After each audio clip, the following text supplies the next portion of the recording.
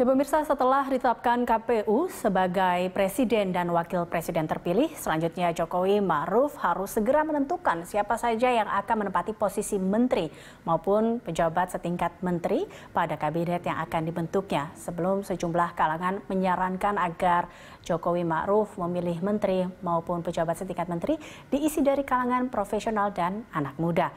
Lantas seperti apa komposisi kabinet Jokowi JK saat ini hingga beberapa perolehan suara partai politik pendukung Jokowi Ma'ruf dan tanggapan terkait komposisi kabinetnya nanti. Informasi selengkapnya akan disampaikan oleh rekan Popi Zedra. Silakan Popi.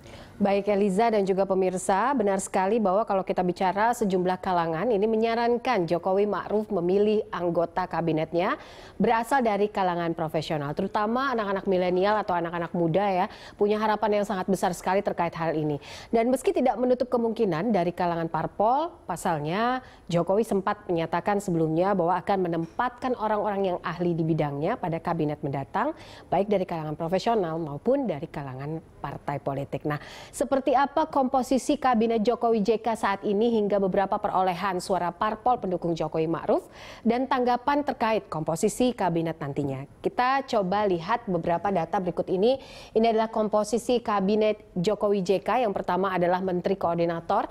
Ini terdiri dari empat posisi sebenarnya. Ada satu non partai politik dan juga tiga asal partai politik. Jadi uh, asal partai politiknya ini justru ada tiga begitu ya.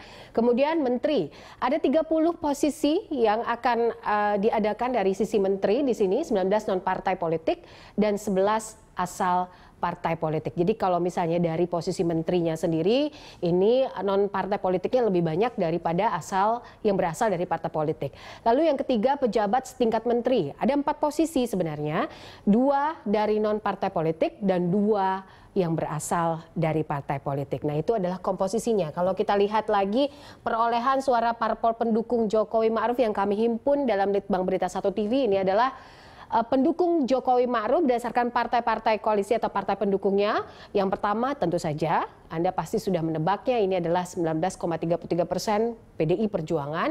Di posisi kedua ada Partai Golkar 12,31 persen, PKB di posisi ketiga 9,69 persen, Partai Nasdem 9 persen juga. Kemudian P3 ini berasa, uh, berada di angka 4,52 persen.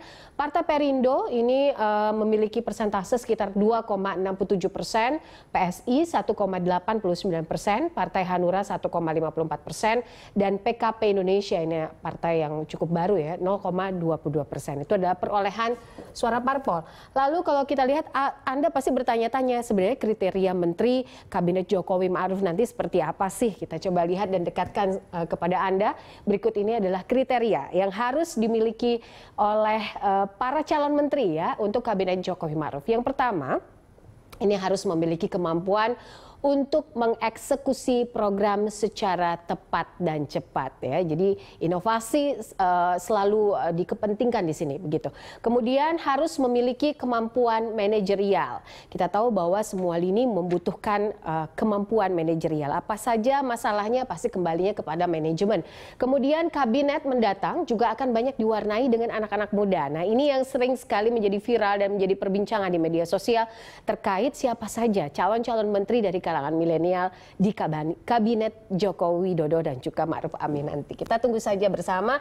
Lalu ini adalah uh, beberapa pernyataan gitu ya terkait uh, gonjang-ganjing soal siapa saja nanti yang akan mengisi kabinet Jokowi uh, Jokowi Ma'ruf Amin maksud saya. Ini Pak Presiden Jokowi berpendapat bahwa kabinet akan diisi oleh orang-orang yang ahli di bidangnya, jangan sampai dibeda-bedakan dari profesional atau ini dari partai politik, jangan seperti itulah karena banyak juga politisi yang profesional. Jadi memang akan diisi oleh kalangan profesional dan juga akan ada yang datang dari partai pendukungnya gitu ya. Lalu kita lihat lagi ini pernyataan dari Hasto Kristianto, Sekjen PDI Perjuangan. Beliau berpendapat bahwa terkait di kabinet pun demokrasi yang dibangun PDIP menyerahkan kepada Ibu Megawati untuk membahasnya bersama dengan Presiden Jokowi yang memiliki hak prerogatif. Jadi kalau kemarin ada gonjang-ganjing soal apakah nanti Pak Jokowi akan disetir oleh eh, kalangan tertentu, eh, Hasto Kristianto menyatakan bahwa ini kembali kepada hak prerogatif Jokowi Dodo sebagai Presiden Republik Indonesia. Baik, itu uh, beberapa data yang coba saya saya sampaikan untuk uh, Eliza pada sore ini. Eliza, kembali ke Anda di studio. Baik, terima kasih Pobi Zedra untuk informasinya dan pemirsa Prime Time Talk akan kembali usai jeda tetaplah bersama kami.